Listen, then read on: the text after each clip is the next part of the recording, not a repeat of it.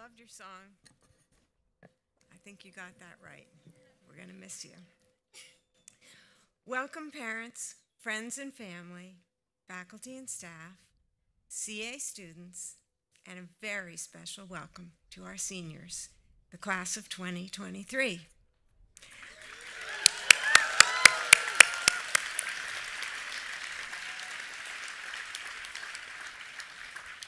I'm Faye Schutzer, and on behalf of the Concord Academy Board of Trustees, I want you to know we are so proud of you and excited to be with you today. As a member of the class of 1965 myself, I look forward to welcome you, welcoming you as members of fellow alums of CA. Over the past few years, I've prepared for remarks at commencement by looking at the group dynamics of each graduating class. As a psychologist, I've always been especially interested in group process. The roots of my interest in psychology began here at CA in a course called Community Service that had a reading list that introduced concepts in developmental psychology and personality theory. I was fascinated by the readings, and um, so when a term paper was required in chemistry class, I took a risk and I chose to do a paper on the chemical basis of schizophrenia. I was even taken to Harvard's medical school library for the research. My passion, like so many other CA students, was no problem for our faculty, who have always and still encouraged students to pursue their own areas of interest. But coming back to the present and thinking about your class, 2023, it's worth naming that you did not exactly have a typical four years together when you would have had the opportunity to develop as a group. You started out okay in ninth grade until well, that was 2019. But in March of 2020, and the global pandemic hit, um, that changed everything. And during the next two and a half years, um, you were at first physically distanced, then some of you returned to campus, but not everyone could be here. And those who were here could only show their eyes, not their smiles.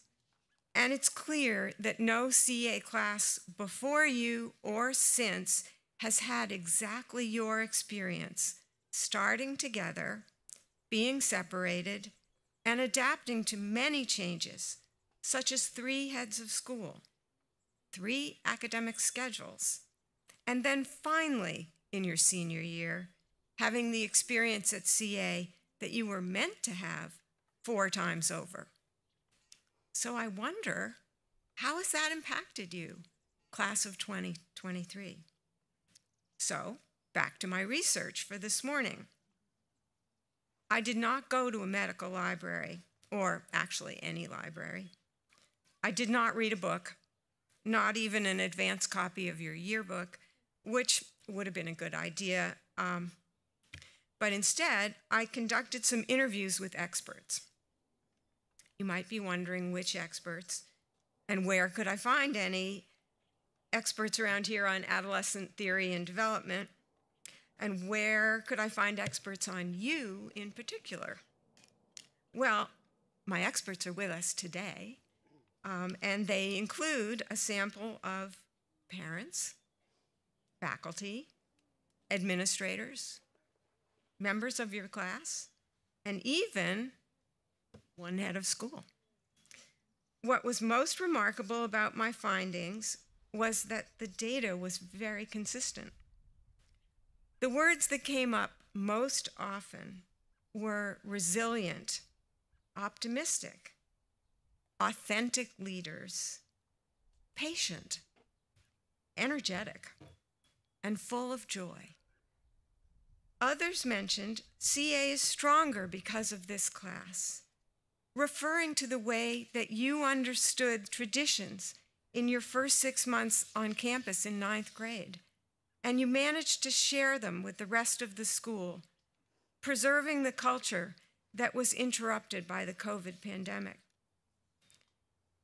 Your chapels, I'm told, were especially powerful and dealt with a wide range of themes that touched the whole community. You reached out in new ways trying to bring about change, speaking with raw honesty and authenticity. Your diversity is an incredible source of strength. Ultimately, you talked a lot about hope, and you strike the adults around you as optimistic to your core. Everyone I spoke to commented on how, despite headwinds and a shorter time on campus, you navigated difficulty and emerged as leaders of the school after the junior leadership retreat. One parent said, This class represents the best of CA. CA is stronger because they are rebuilders of themselves and of the community. A faculty member commented, It's a class that's very good to each other, which is generally a CA characteristic, but a particular feature this year. So I'm wondering is there any balance? Apparently, you can be bold and even silly, and you're not afraid to push the envelope at times. Of course, you got up to a little mischief, and there were comments such as about the senior coffee house, apparently with some unforgettable dancing. Your class even received a complaint or two. You apparently kicked the head of school out of the gym at least once. and you, you even barricaded him from his office on senior prank day. I've had a discussion with him about when he's planning on having head of school prank day. And oh, yeah, did you really dunk him too? On a chilly, early May day when he was only coming out to cheer on his colleagues? Were you even just a little worried you might not get your diplomas today? But seriously, back to the comments. My experts were all profuse in their praise, and indicated that this, is a, this class is a special group of thoughtful young people who are going to make a difference in the world. It's clear you've already done that at Concord Academy. Congratulations, class of 2023. Come back soon. Thank you.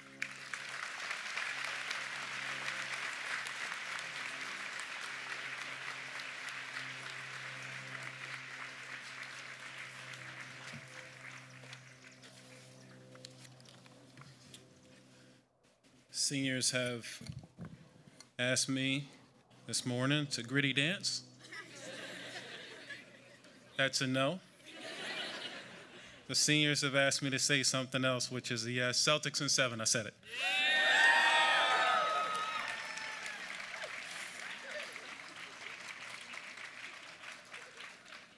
Good day, fellow humans.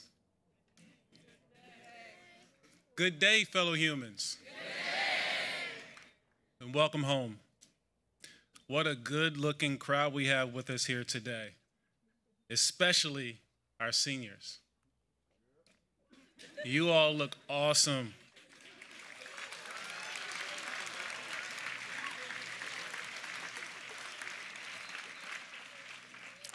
A warm and hearty CA welcome to our families and friends who traveled near and far to be with here be with us here today for this special occasion.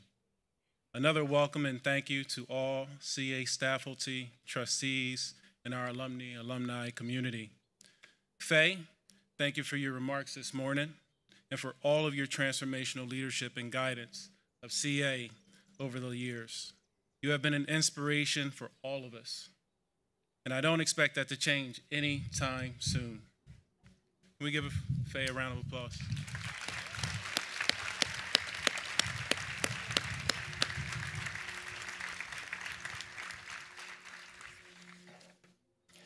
Seniors, the countdown is no longer in days as you reminded us at announcements in the PAC over the last few months. In less than an hour, you will inch ever so closely toward a new kind of independence. But as you have heard me say a few times this year, run, don't hurry. These next few years are about careful exploration and risk taking. As a parent of a 19 year old, Bryce, and 21 year old Brooklyn. I am qualified to give advice, and I hope you will listen to me more than my son and daughter. Just kidding. They always listen to me. Can I ask every parent, grandparent, or guardian who would like to please stand or raise your hand with us and be recognized?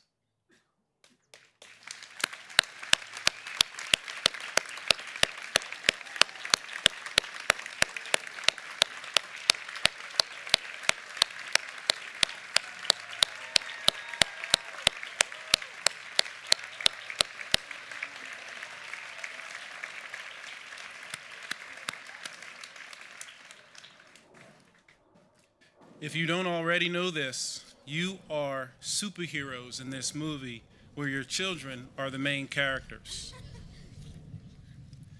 Seniors, your superheroes will continue to serve you beyond your time at CA. The simple truth is that you are all stuck with us for life. And that's a great thing because we all really love you.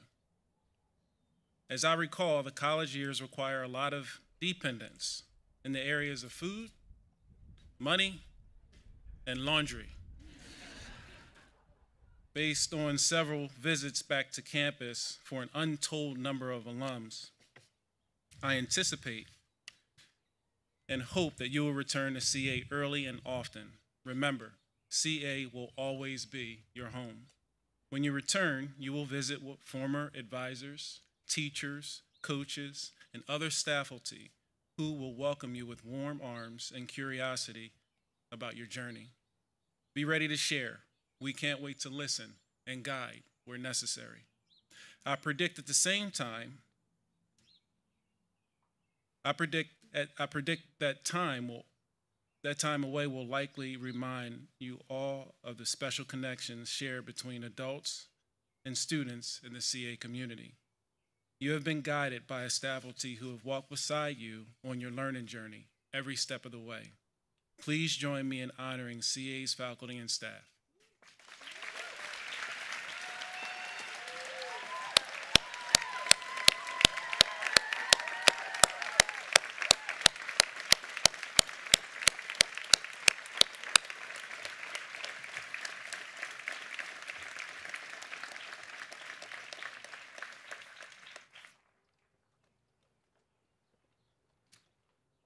Some, but not all of you, may know that we have some super special and unique traditions at CA, like the senior song you just witnessed.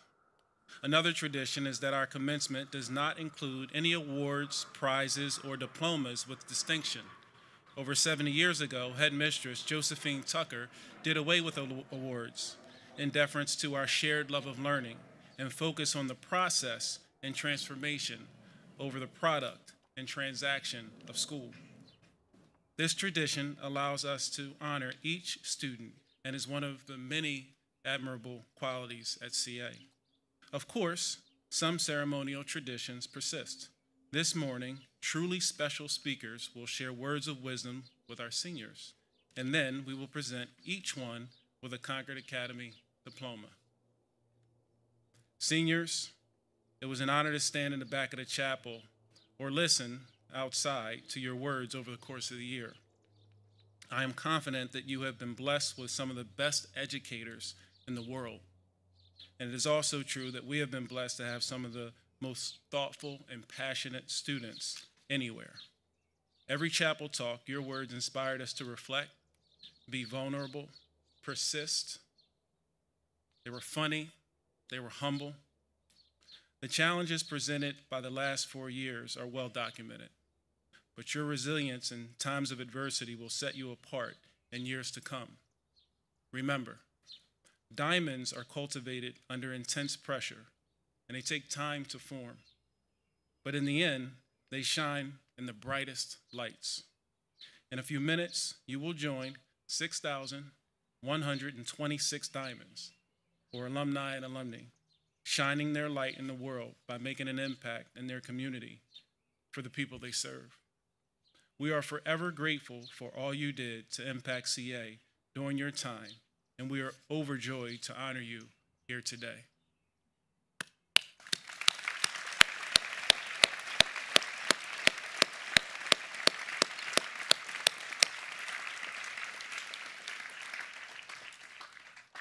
I would now like to invite this year's student head of school to come forward to share some remarks with you and to celebrate his peers.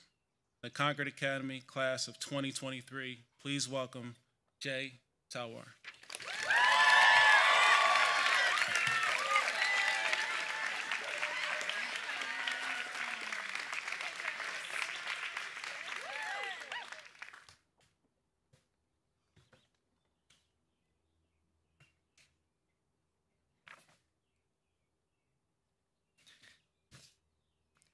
Good faculty, staff, friends, family, guardians, and the class of 2023. I'd like to start off by handing out thank you notes to everyone in the class. You all deserve it.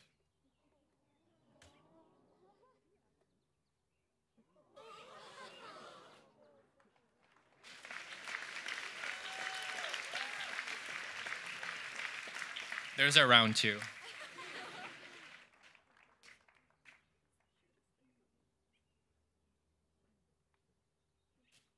Gratitude is important. All right, now that, that, now that that's done, for the past couple of days, I've been looking over everyone's chapels from this year. I'm going to share a handful of quotes, around 18, from my peers' chapel talks that encapsulate the wisdom I heard this year. Unfortunately, I can't share the wonderful words of everyone in this ceremony, but I want to know, I want you to know that I looked through each and every text and found something remarkable in all of them. I invite you to find at least one quote that resonates with you. And so here it goes, in no particular order. Number one, you will never be the best. Among the 8 billion people in the world, there will always be someone more skilled, someone with cooler ideas, someone faster, someone stronger, someone who learned it better, someone better. But here's another fact you don't need to be the best. Number two, I realized during this time that locksmithing is actually like solving a puzzle blindfolded. All you can rely on is the small click of a pin and the difference in pressure you feel as the pins bind into place to tell you that you're headed in the right direction. Number three, fear is a fascinating thing. It is one of the most natural, powerful, and primitive human emotions. Number four, every door has a key, and every problem has a solution, but sometimes the solution is to let it be. Number five, next to my bedroom door, I have a small sign that says, Today will be awesome. Number six, throw yourself into things you're so passionate about, you can spend hours on them and they don't feel like work, even if things aren't going smooth sailing. Number seven, it's not the destination, it's the journey that matters. What's often going to happen is that you want, you won't accomplish your dreams. Yes, your dreams won't come true. Something greater will. Number eight, it doesn't matter if your socks match. Number nine, in hindsight, I realized that my experiences and moves, however difficult at the time, are a privilege. My experiences are what makes me me, and I'm grateful for the perspectives they offer. Number 10. Life isn't about surviving in the storm, it's about dancing in the rain. Number 11. If you don't pull up a weed from the root, it'll just continue to grow back and consume your garden until you eventually do. Treat yourself like a garden. Number 12. It was at this very moment that the headmaster imparted to me the advice that would change my life forever.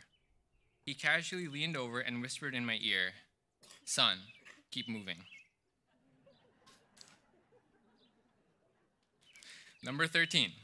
There will be hard roads ahead, coming up ahead, but don't worry, because everything that has happened in your life so far has already prepared you for it, so enjoy living every day. Number 14. You'll miss out on a lot if you live in fear of change. After all, change is the only constant in life. Number 15. If something isn't fun, make it fun. Number 16. Like a summer sunset drive with every window down, the sunroof too. Those rides are made special by the people in the car, the ones along the ride for you. Number 17. Plus, there's so much beauty and joy in imperfections, in the cracks of the pavement where flowers grow, and in, and in misshapen fruit and scribbly handwriting, and crooked teeth, and little kids learning to ride bicycles. And finally, number 18. If you're honest, people may deceive you. Be honest anyway. If you're kind, people may accuse you of selfishness. Be kind anyway. All the good you do today will be forgotten by others tomorrow. Do good anyway. To CA's faculty and staff, words cannot express our gratitude for each one of you. You have already changed this world and changed our world. And finally, to the class of 2023, congratulations, you all. It's truly been an honor serving as your student head of school for the past year. I love you all very much.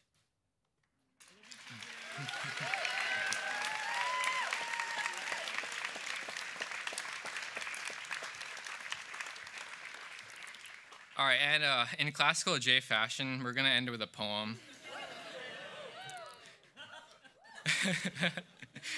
wow, look at how time flies. It seems like just yesterday that I was the size of French fries. But now I'm a bit more tall and a bit more wise. My endless gratitude goes to CA and all of you guys.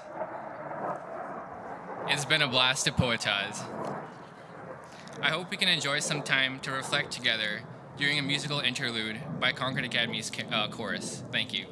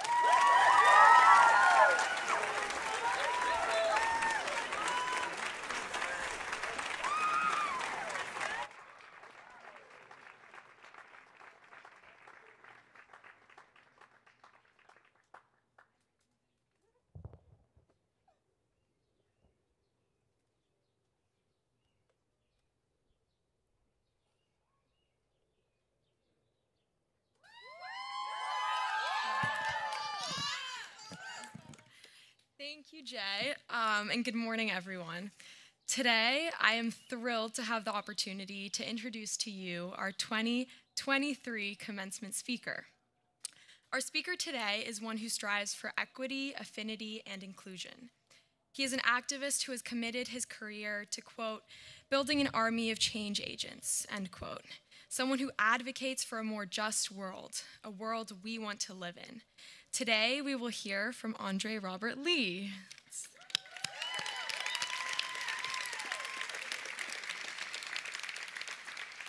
Lee is an award winning filmmaker, keynote speaker, consultant, writer, and educator. Films he has directed and or produced include the documentary I'm Not Racist, Am I? An award-winning short film series for Paramount TV called Virtually Free, which tells the story of incarcerated youth in Richmond, Virginia and the road to injust- and the road to justice, which documents the civil right tour- rights tours he led throughout the American South for more than 15 years. Lee is a storyteller. He has directed the short documentary Firsthand Realizing Your Full Potential Through STEM, as well as directed and produced the television series This Is Life with Lisa Ling for CNN. He is currently developing a documentary series on mental health programs within the California Department of Education. His projects are dynamic, far reaching, and impactful. Lee's impact extends all across the United States. He has collaborated with the New York City Public Schools, the Ford Foundation, Diana Ross, and the media organizations Miramax Films, BET, Universal PBS, HBO, Sundance, Picturehouse, and DreamWorks. Through purposeful collaboration and creative engagement, Lee's work both challenges and expands our understanding of ourselves and the world. He studied history at Connecticut College and education at Tufts. Lee teaches filmmaking at the Germantown Friends School and has also served as a professor of writing at the University of Pennsylvania's Wharton School. He sits on the board of directors at the Miquon School and is the namesake of the Andre Robert Lee Fellowship, which is dedicated to providing financial grants, mentorship, and leadership opportunities. Andre Robert Lee serves as an incredibly inspiring role model and could not be more aligned with Concord Academy's mission statement he cultivates empathy, integrity, and responsibility to build a more just and sustainable future. We are lucky to have him here with us today, so please join me in welcoming Andre Robert Lee to Concord Academy.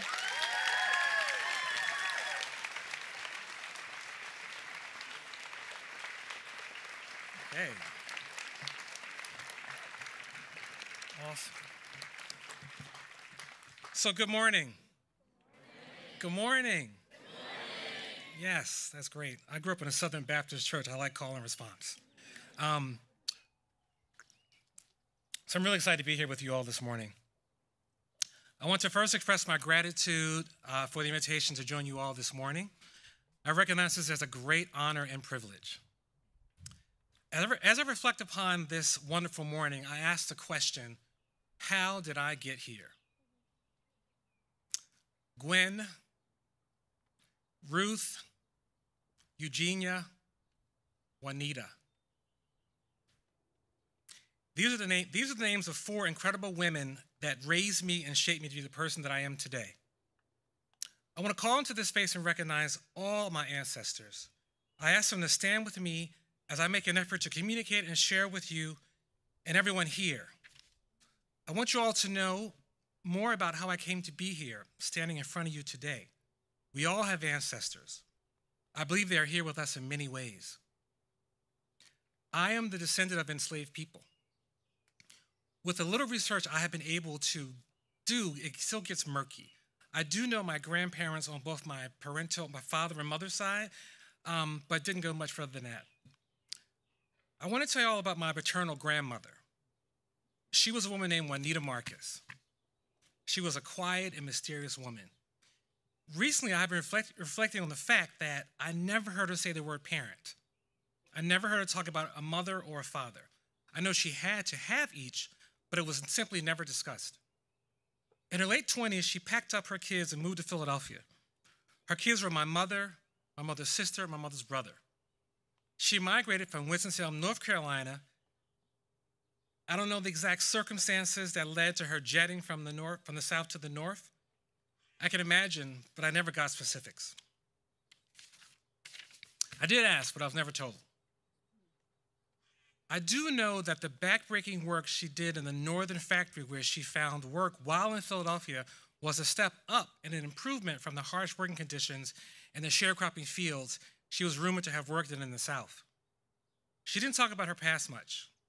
I imagine it was dark, terrifying, and horrible in many ways. I also have to believe there was joy. I feel that joy because somehow, someway, I'm here in front of you right now today. It is no small moment that I'm standing here in front of you. Concord Academy is now 100 years old. More about that in a personal reference to its significance later. Today marks the 99th commencement to, um, for Concord Academy. And I love the word commencement. It comes from the late French, late, comes from, it, comes from the, it comes from the late 13th century. The old French word was commencement. The modern French word is commencier. We use it to describe the ceremony we find ourselves in right now. For many, it is thought as the end, the final moment, time to say goodbye. It does have that energy, but the denotation of the word is the beginning of something. And that is what today is. On this 100th anniversary of Concord Academy, I think I'm right where I, we are supposed to be. Also, I like surprises, and I like being surprised by surprises. Let me explain. Not that one. Um, I came across one of them, a surprise, while thinking about what to uh, what it meant to be here today. I want to talk just briefly, bear with me, about Little Women. I bet every person that comes to visit Concord Academy mentions the book or one of the movies. Today I'm thinking about Louisa May Alcott, and this is a surprise connection. But a quick aside. So I went to a school similar to Concord Academy that was mentioned. It's a private school in Philadelphia uh, called Germantown Friends School. I went there on a scholarship. I attended a basketball reading clinic after graduating from my Catholic elementary school. To be clear, the camp was basketball and reading. I was terrible at basketball. Terrible, terrible, terrible. Um, I was 14 and no one had ever taught me how to do a layup. I excelled for half of the day. I did win a prize at the end of the camp, though, for being best camp reader. I got a copy of I got a copy of Ursula K, uh, I got a copy of Ursula K. Le Guin's The Arm of the Starfish. I love that book. I did not love the status of being the biggest dork at camp. This was pre .com. Nerd culture was not as celebrated as it has been today, as it is today. And also, this was the summer where I was no longer going to be the last player picked for a scrimmage. Let me explain what was happening at the camp. We had a thing called the word of the day. At the beginning of the day, the word of the day was used in a sentence. During the end of the day, we had a scrimmage. And during that scrimmage, the coach would blow the whistle and say the first team to use the word of the day would get bonus points. So for the first time ever, I was actually like a second or third pick. Bonus. Um, now back to Louisa May. GFS is in the Germantown section of Philadelphia. Louisa May Alcott was born across the street from Germantown Friends School at 5425 Germantown Avenue. The setting of Little Women was based on her childhood home, which is about one mile from here. Her family made the trek from Philadelphia to Concord after she was born. That surprised me. I thought this there's another connection moment right here. I don't think it's a mistake. I believe it's fate that I'm here in front of you right now. The ancestors have taken care of me in all kinds of incredible ways. Juanita Marcus's migration, hard work, and sacrifice landed me here. I doubt she read Little Women nor understood Quaker education, but she knew her boy was special and needed education to have it easier than she did. The woman who never said much and never talked about her parents or past had vision and foresight that led me here today. A lot happened 100 years ago. The Lincoln Memorial turned one year old. And get this one on May 28, 1923, it was determined that it was legal for women of the United States to wear trousers. right? Walt Disney was also created. And the first Concord commencement was held outdoors in the gardens back of the academy buildings. There were just a handful of students graduating from this all girls school that today, that day rather. And look at us now. Change and growth are hard, but we must accept them both as we move forward and through life. It's important to note that change and growth relate in a cause and effect dynamic. History is riddled with moments of change that didn't feel like growth until time had done its work and gifted us of all her, his, their. See how he uses these pronouns? I'm gonna say that again. History is riddled with moments of change that didn't feel like growth until time had done its work and gifted us all his, her, their most profound gift hindsight. I believe that much in our current moment will follow the same legacy. As books are being banned and restrictions are being placed on people's minds and bodies, it's hard to feel like this is a moment of growth or change in any positive way. But we must be optimistic about what it can yield. It is only through hindsight, hindsight that we will be able to see the change and growth of our, of our current moment clearly. But if the masses of individuals across the country who choose to speak truth to power are any indication, there is reason for hope and optimism. My grandmother, Juanita Marcus, one day witnessed me saying something that was off color or inappropriate. I was a teenager.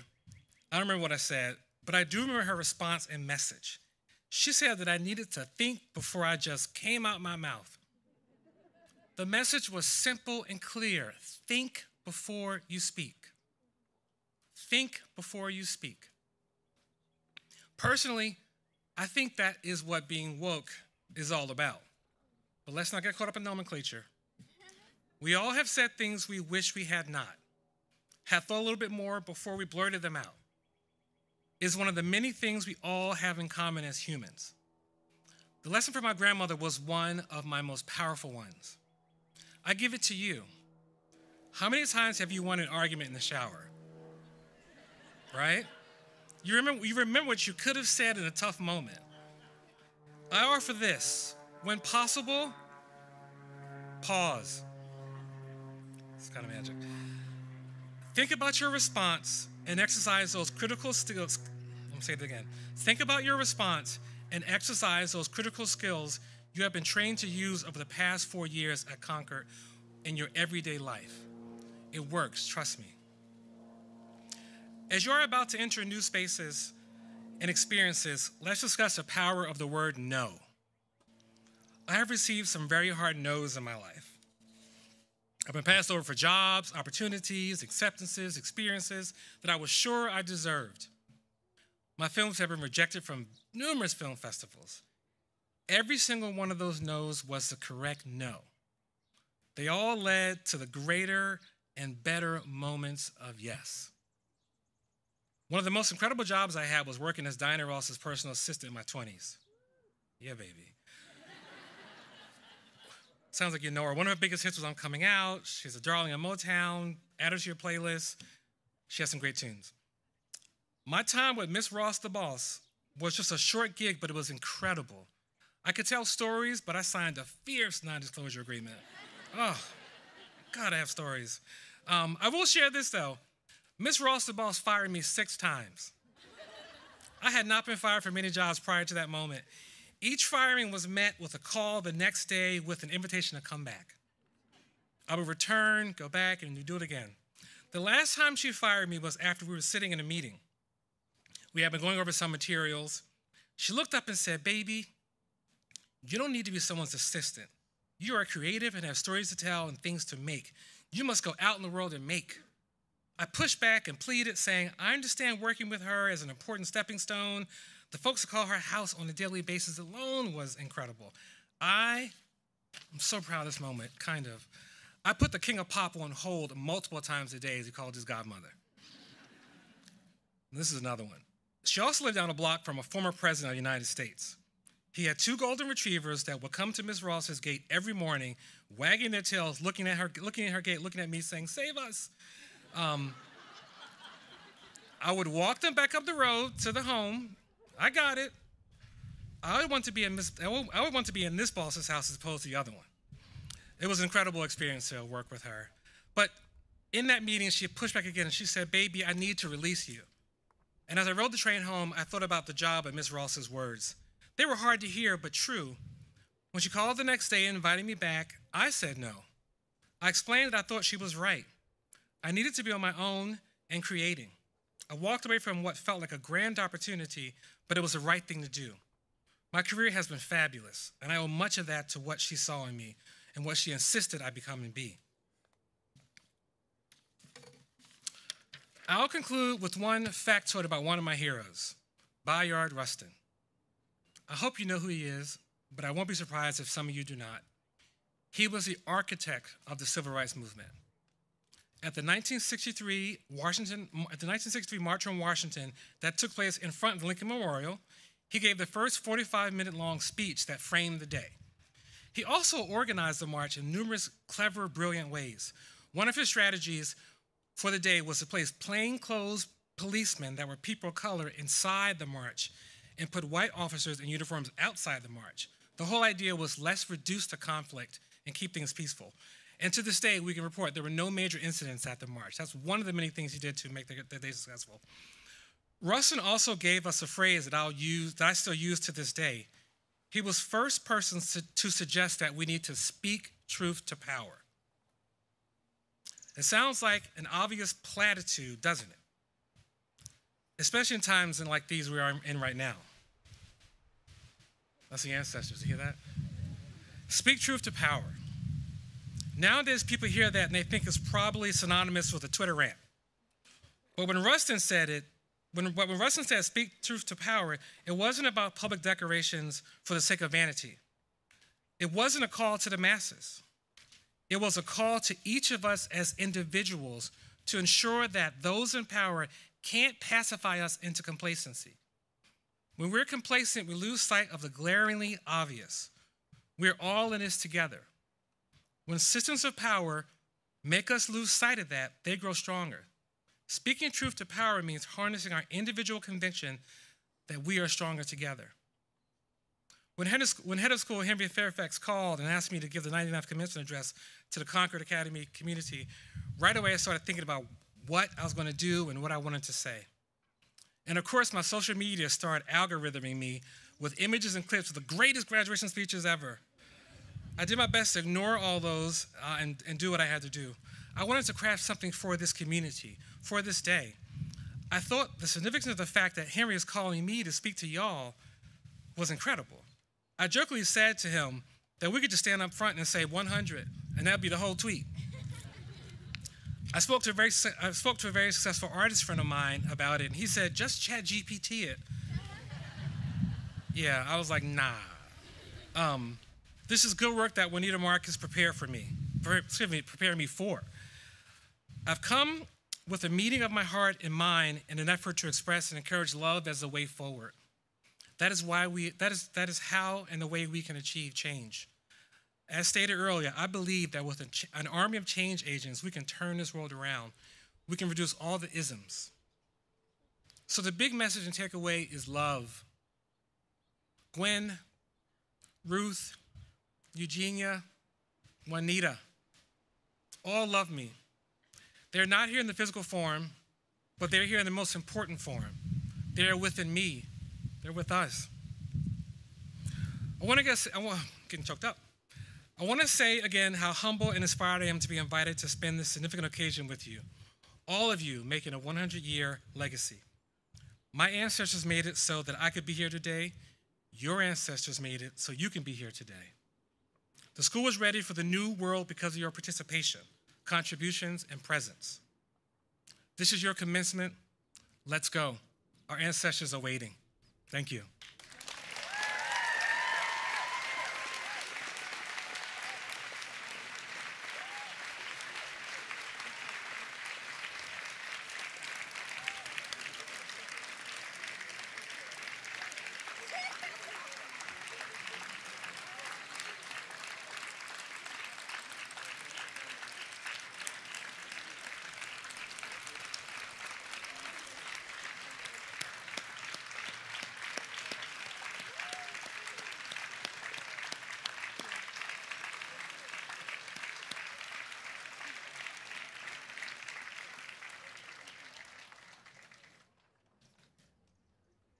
CA is a special place. Only at CA can our commencement speaker show up in jeans and Jordans. Uh, and, I, and I approve that, so it's good stuff. Uh, Andre, thank you for your wisdom and your inspiring words. We're so fortunate to have you here with us today. And, and I'm confident that each and every one of us who witnessed your speech and felt your ancestors um, will never forget it. And so thank you again. Uh, that was that was awesome. That was special. So now, are we ready to pass out the diplomas? Are we sure? Sure? Let's do it. At CA, we award diplomas randomly rather than in alphabetical order. It's a practice that keeps both the graduating class and the audience on alert. and it allows us to honor each graduate with a moment of recognition and applause. Be aware that we have professional photographers well positioned to take photos for you. So you don't need to leave your seats to try to capture the moment. Finally, before we begin, let me explain the sock.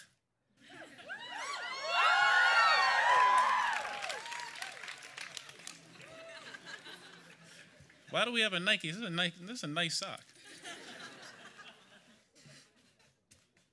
The sock is filled with money contributed by each member of the graduating class, with a little extra surprise thrown in by the alumni community, alum community. The last senior to receive a diploma is also awarded the sock. Let me now ask Elise Ruiz Selsky and Will Tucker, senior class advisors, to come forward to assist.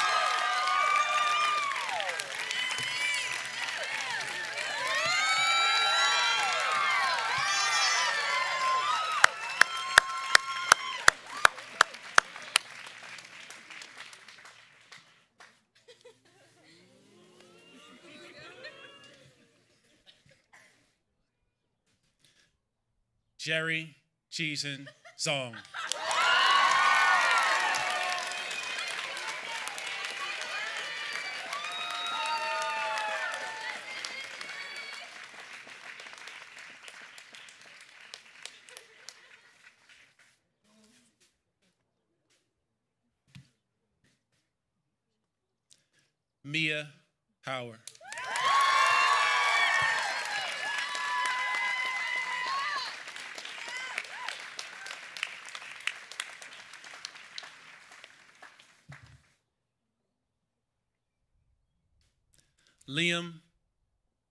McMichael O'Brien.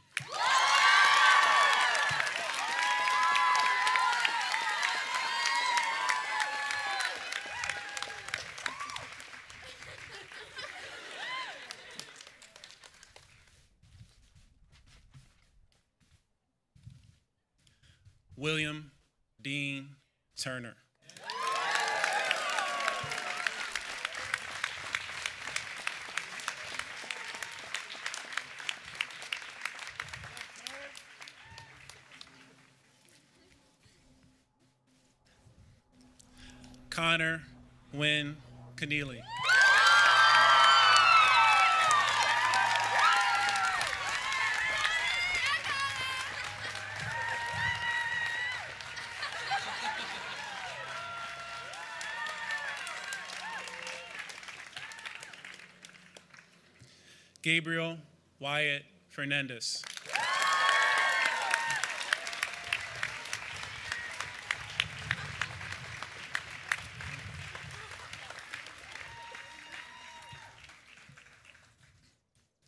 Annie Grace McGarry.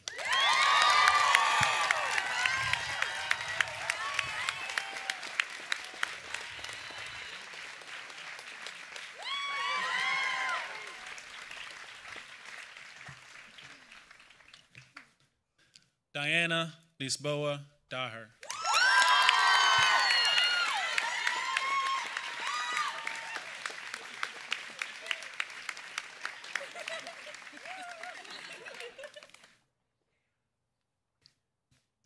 Colton Timothy Largay.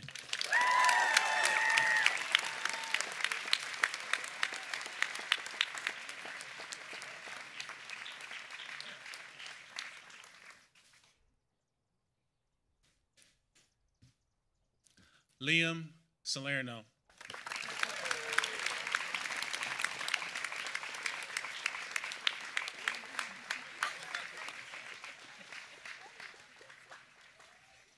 That was my Celtics in seven, friend.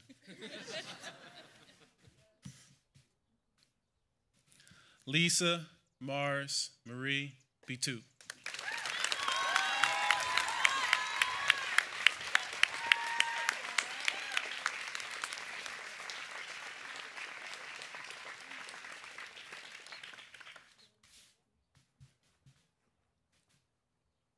Matthew David Gutierrez.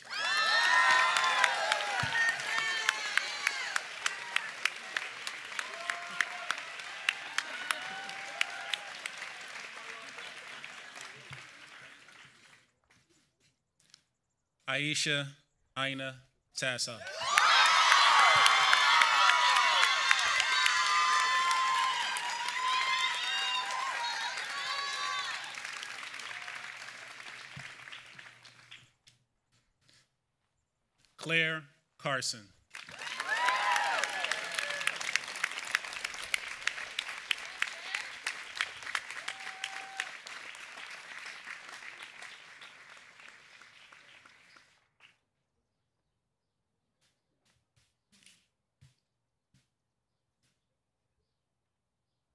Hugo Emmanuel Marquise.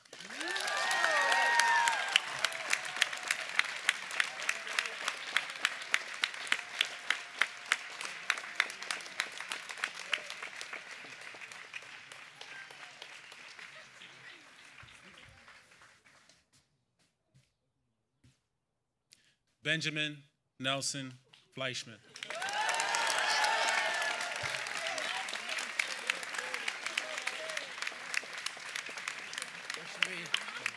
Right over here.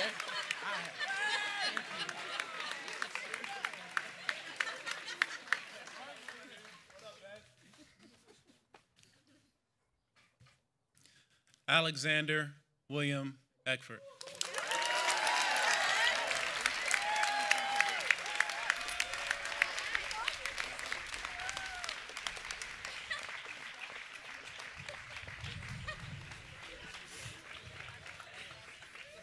Some of us like taking photos, some of us don't. Peter Elliott Chrisoff Bem.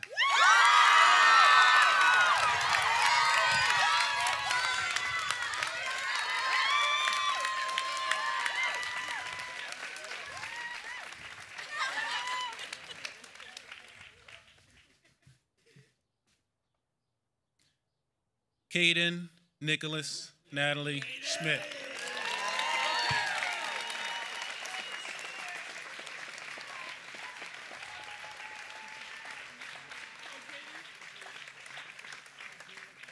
Check out Caden's tie today. Maya Jean Khalil.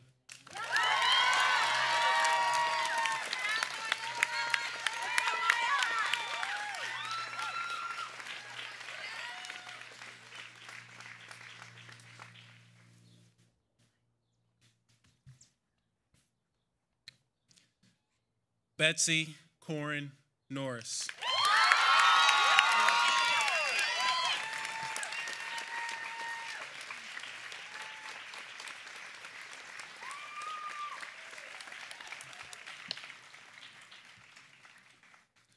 Juliet Sinkus.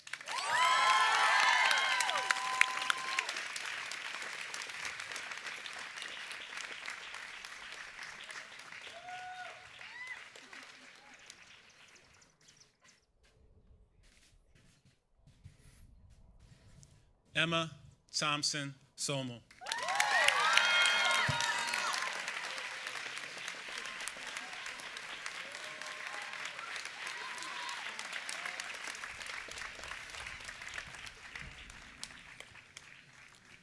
Shaheen Samadi Ayibadi.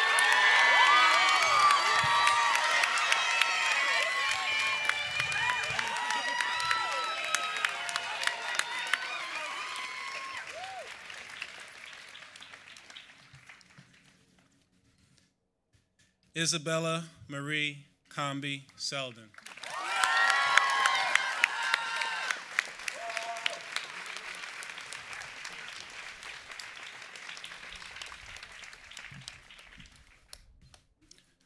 Lucy Norton Baker.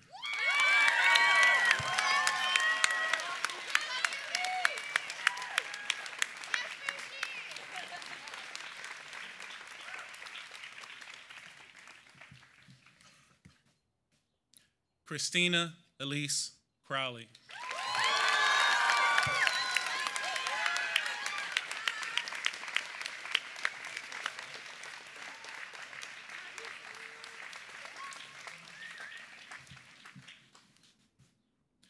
Madison Lee McCaslin.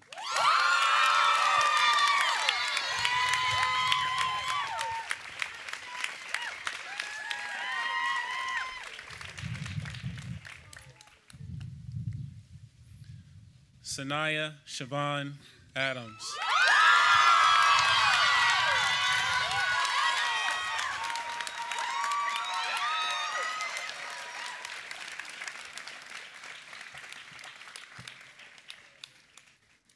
Kazimir Barovich.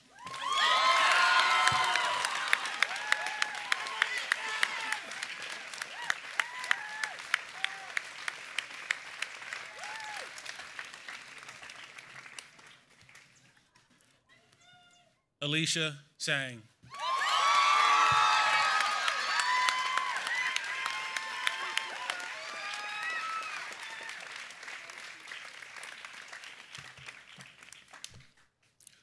Cosette Yudi Wong.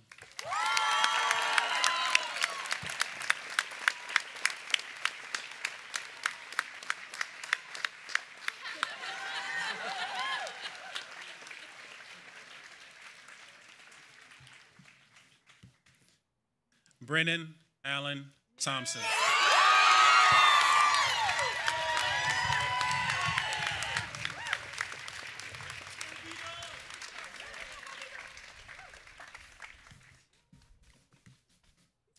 Joshua Yunte Lee.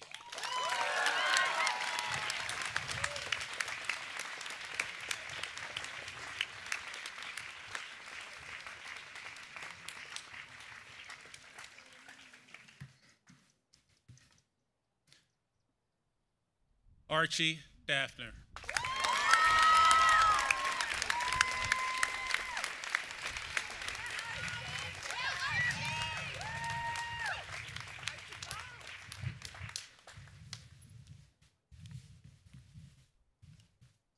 John O.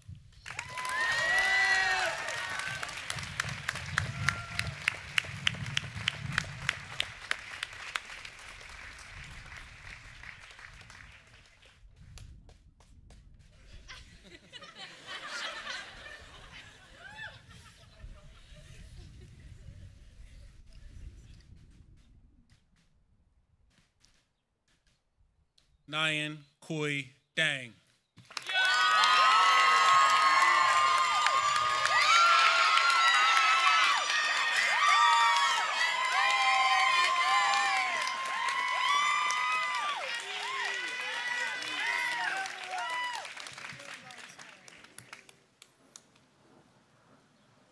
Term Teapasat Tong. Term Teapasat Tong.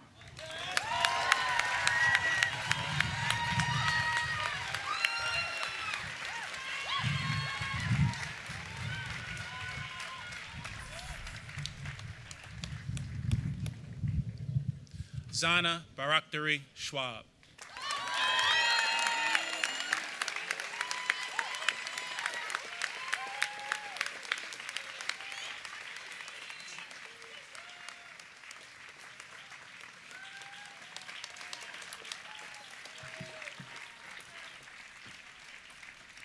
Selene Toribio.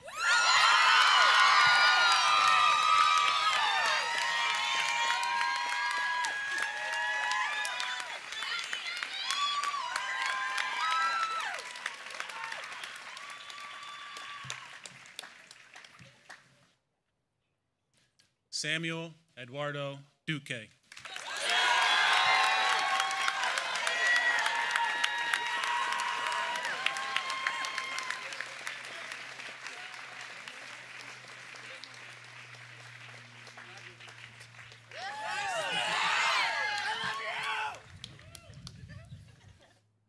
Christian Omar Settle Singh Nazaire.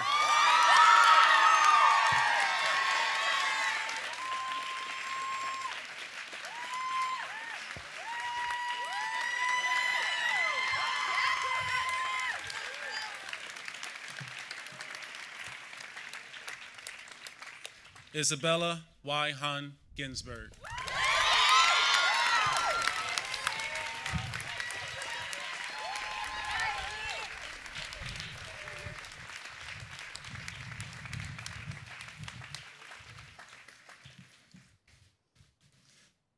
Svava Barfels.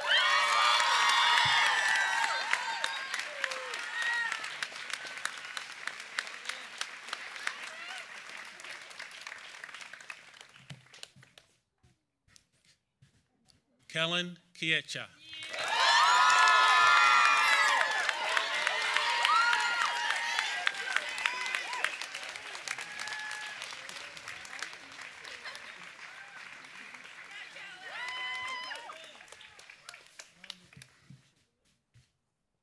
Xiaozheng Sam Lu.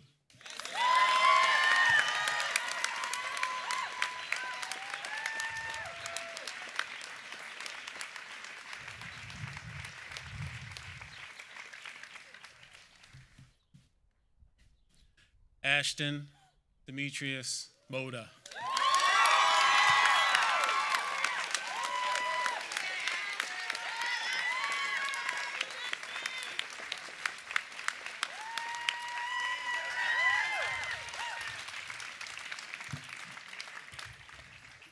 Margot Ruby Buchanan.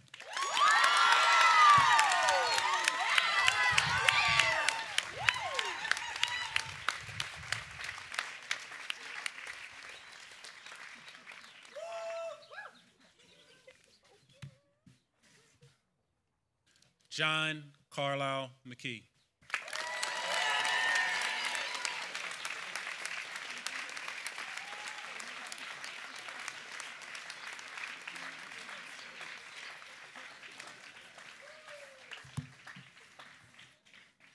Phoebe Davis Fritz.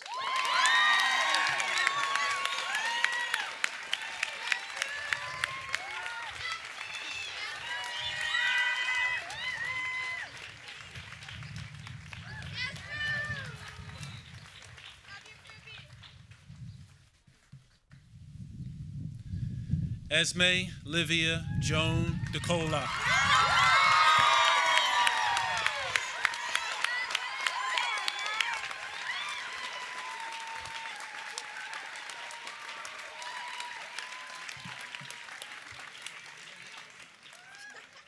Eduardo Giovanni Bertici Tokash.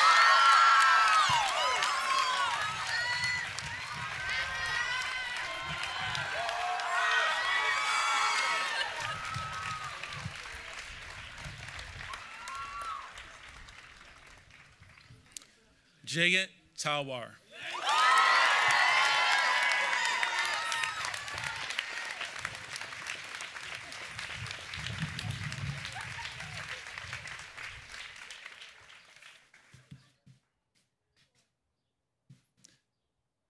Gianna Heaven McIntosh.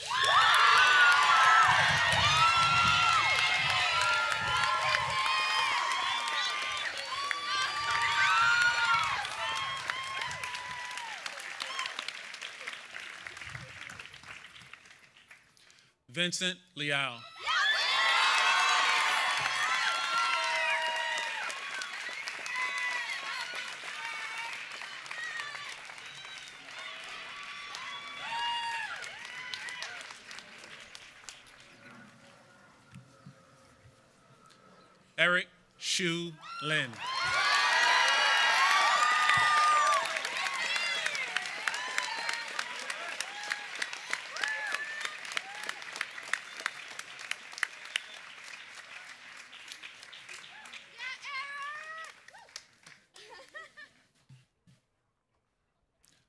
Lucas Matthew First.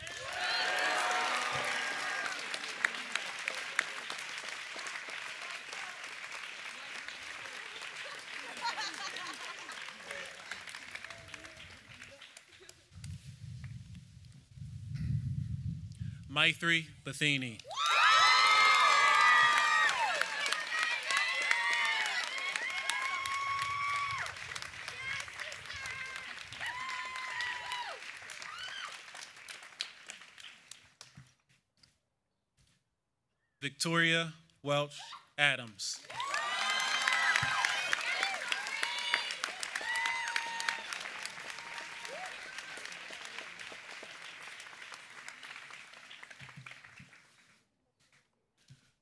Serena Olivia Agarwal.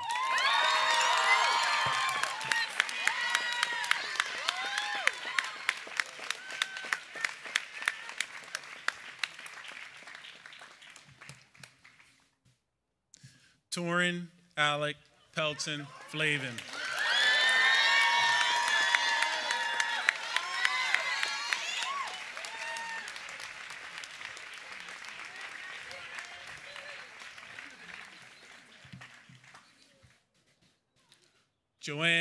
Genso O. Oh.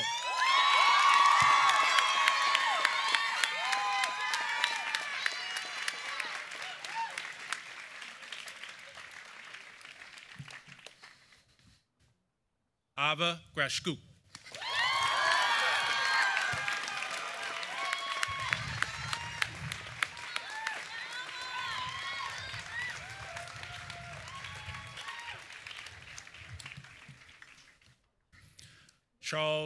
Redmond Badger.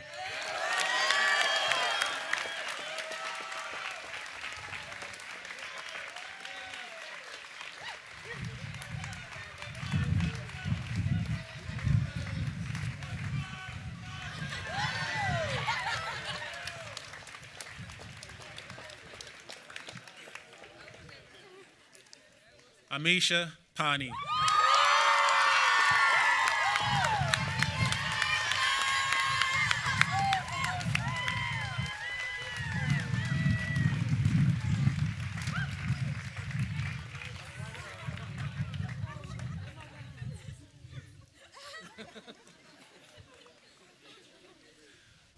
Thomas Michael Christie Israel.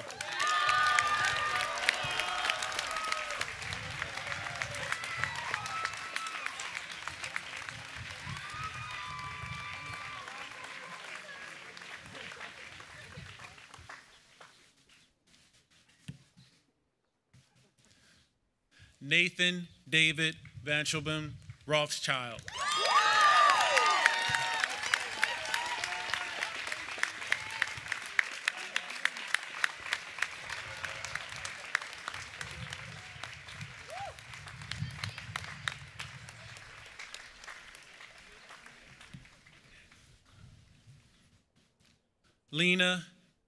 Nishikawa Cantor.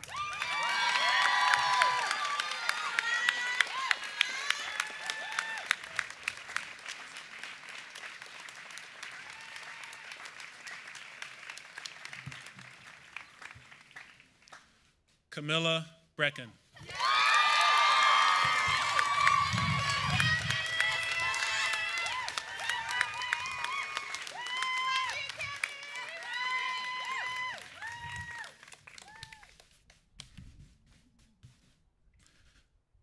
Charles Zimmerly Seston.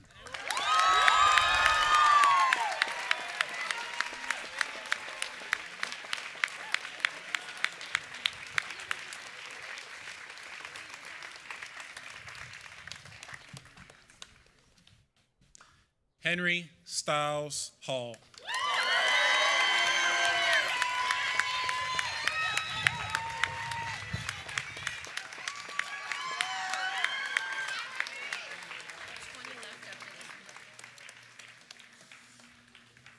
20 left after this one. Maya Katrine Minahan,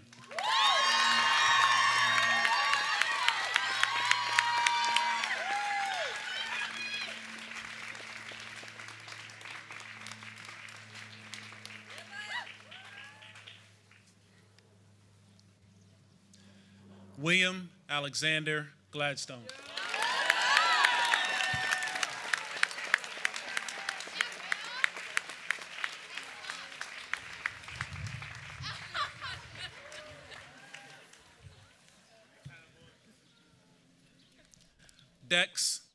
Crosby Plunkett.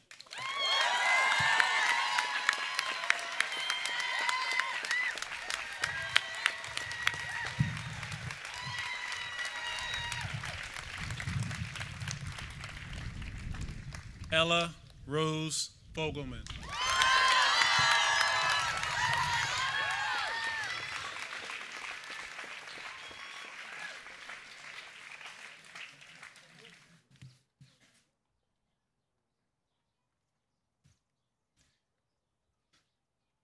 Shaylin Salcedo.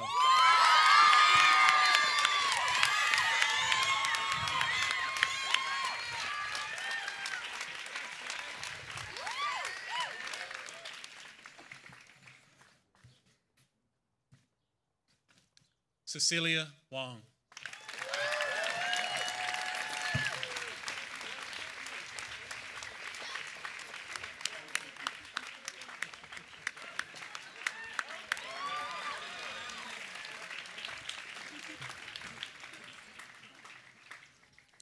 Julia Frances Ravenscroft Barrow.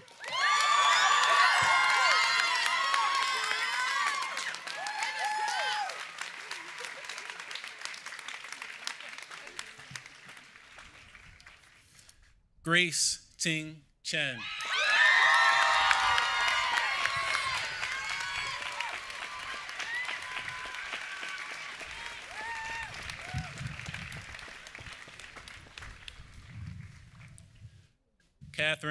Hamilton Tran.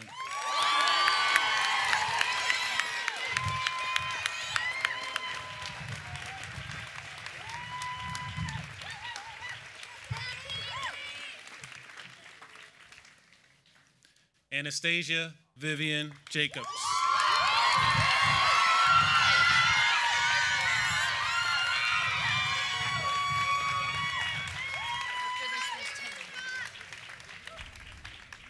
Getting close after this one is 10. Matilda King Chartner.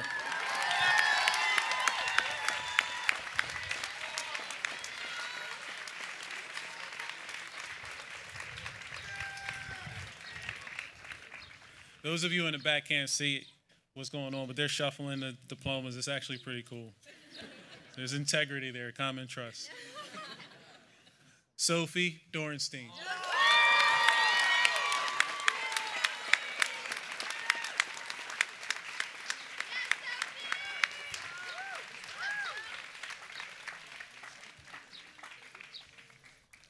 Luna Cabrera.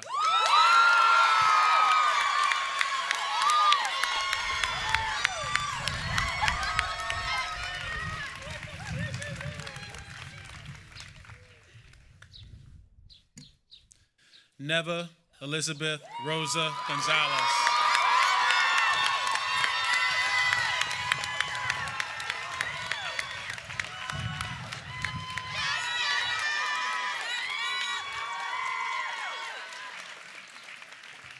I'm not sure what sign I just put up, but I hope it was good.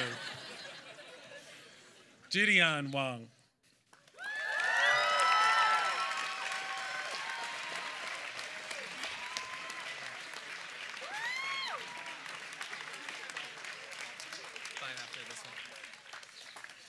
And then there were five after this.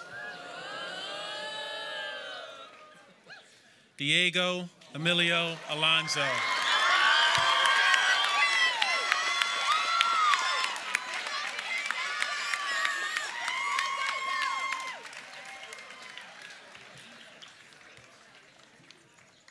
Everett Ross Dalton.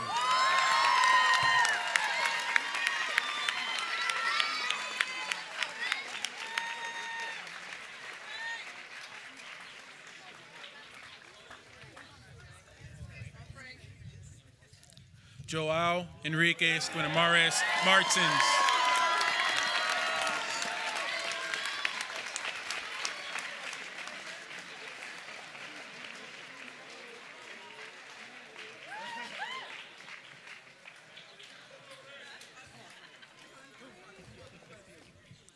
Frank Montenegro.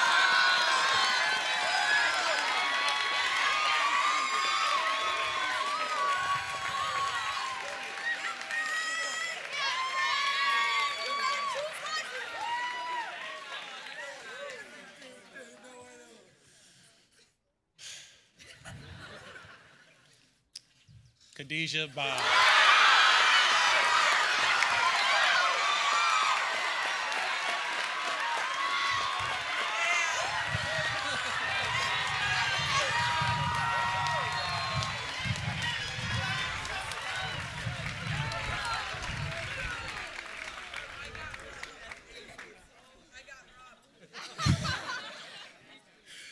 Anton Crawford.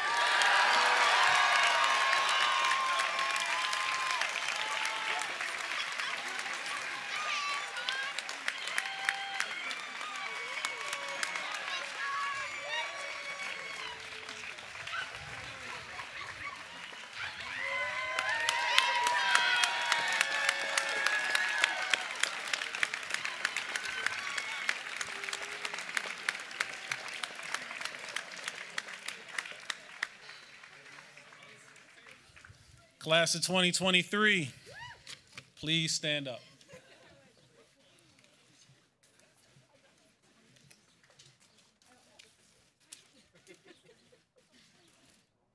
Can we give one more hearty applause for this amazing class?